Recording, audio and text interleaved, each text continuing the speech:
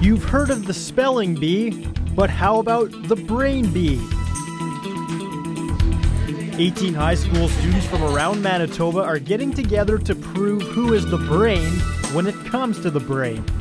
It actually started in, in Maryland, at the University of Maryland in 1999 with the International Brain Bee, and that now has spread to over 20 countries around the world.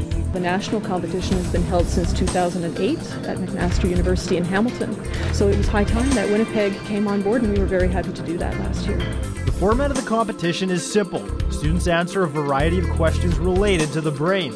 While the questions start off easy, much brain power is required by the time the final six students remain.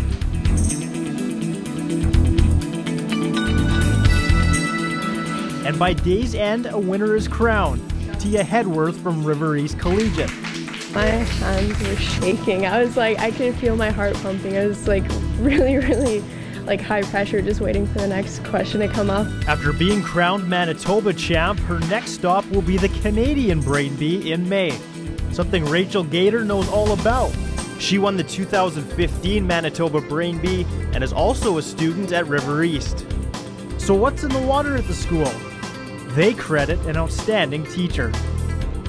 I think Miss Secord at our school, she she runs a really great biology program and she's definitely really motivating her students uh, to get involved in things like these. Students also get a chance to tour the labs at the Health Sciences Center and even handle a brain or two. Gross to some, but educational for these high schoolers. The university hopes many of them pursue a career in the field after today. Neuroscience is certainly a growing field. A lot of there's a lot of interest and it's becoming a very important topic in terms of health. So we're going to need more and more research into these areas to try to find treatments for these diseases.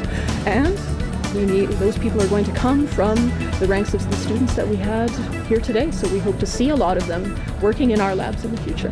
But for now, the Canadian competition is on the brain for Tia.